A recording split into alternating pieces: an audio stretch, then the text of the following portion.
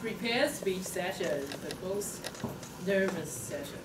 The next one okay, our first speaker is Kent.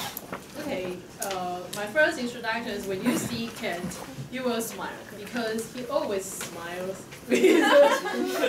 Usually, he always smiles with an innocent smile. Don't you think so? so you will smile with him. Okay. Uh, his answer to the question is his ideal gathering would be something like uh, to get together with people he would like to achieve some common goals with them. For example, like playing Pokemon Go with friends. and the other one is going marathon running with Toastmaster together and take a trip or to unfamiliar countries with his family. Okay, uh, he said when people get together to achieve something, they can encourage each other and help each other through this uh, process and have a wonderful experience in this. And today is can C1 speech. The top, uh, the title is Every Cloud Has a Silver Lining. Every cloud has a silver lining. Let's welcome Kent.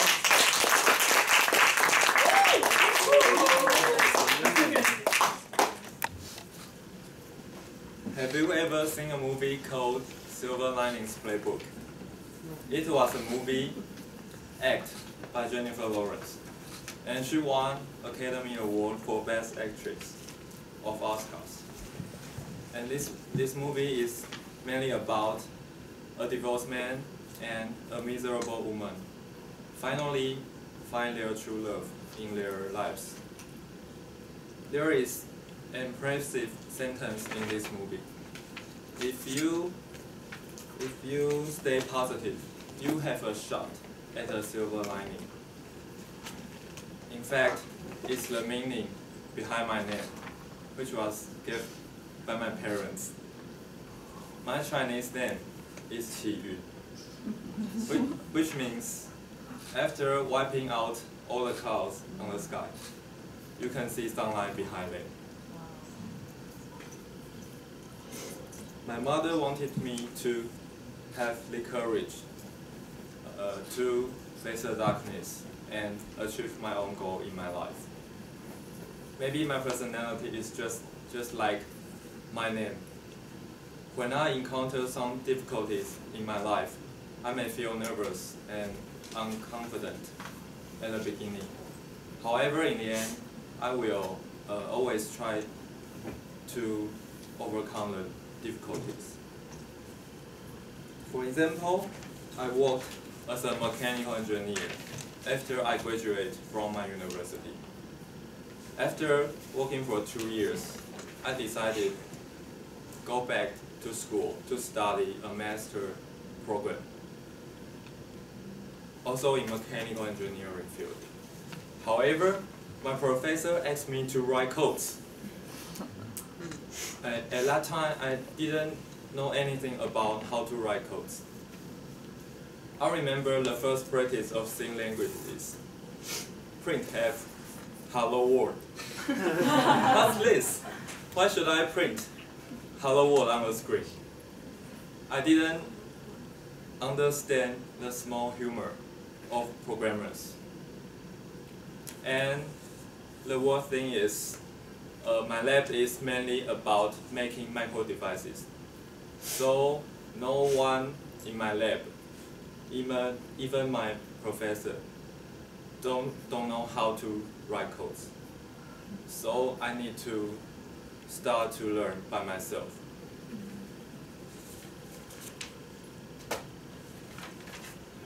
And then I started to stay in library every day to practice write codes. And sometimes I will try to compile some codes from the internet.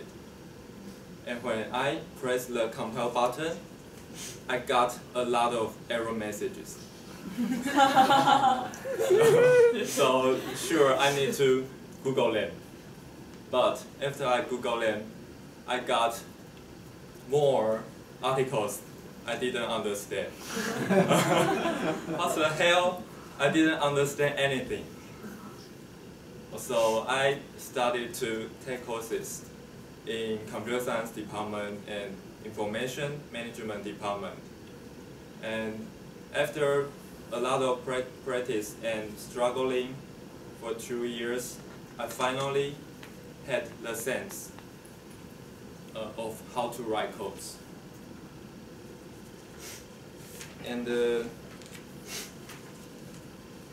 after I got my master degree, I published a conference paper in Korea and gave an English presentation in public.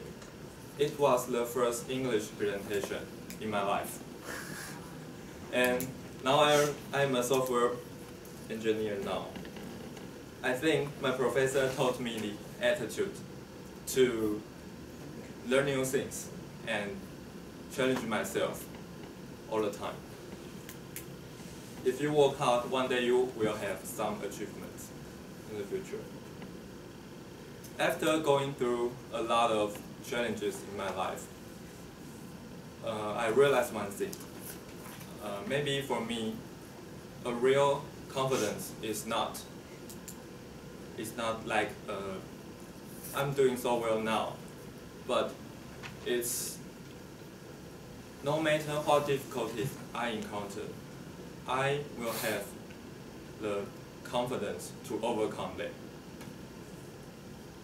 Everything will be fine because if you stay positive, you will have a shot at the silver lining.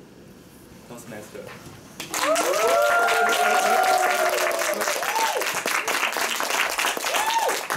Thank